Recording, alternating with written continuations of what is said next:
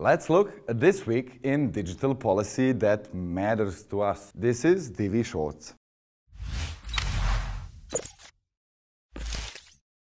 First, let's travel to India, where a Punjab and Haryana High Court used an artificial intelligence chatbot to determine the bail in a murder case.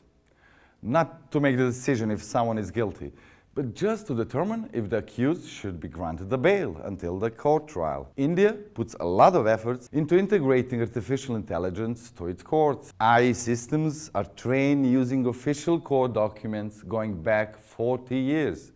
Imagine the experience.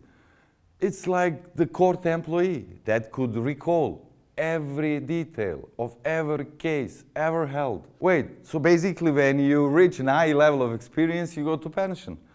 Such a waste of experience. Anyhow, in Italy, they are not so impressed by the artificial intelligence chatbots.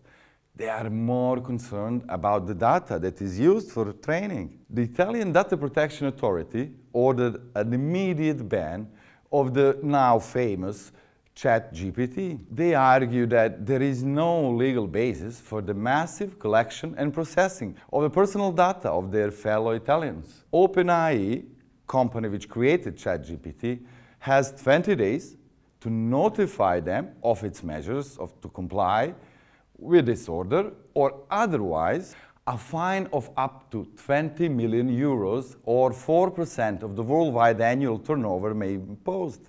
According to the Business Insider report, OpenAI is currently valued at about $29 billion, and they generated zero revenue last year. Therefore, this fine must be paid cash. So if they lost 700 or so, those court cases, that would be a half of the company's value.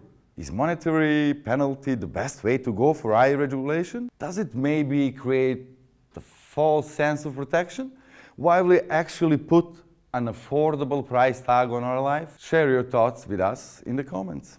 Do you know how dangerous sharks can be for the internet? Yes, real sharks like in Jaws take a look at this video.